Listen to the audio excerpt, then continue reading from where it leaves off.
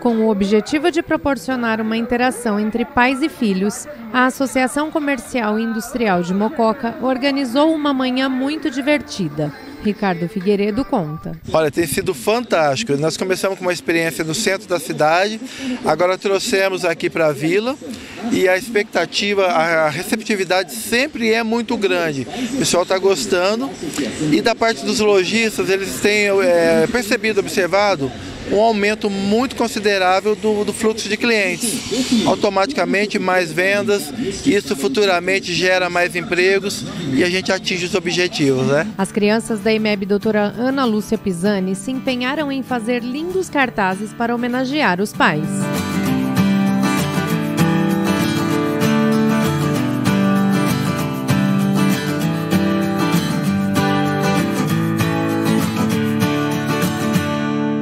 A Recreação disponibilizou diversos brinquedos. Foi uma diversão só.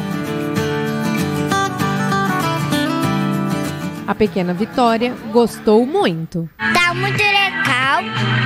E você quer vir aqui? É na Páscoa.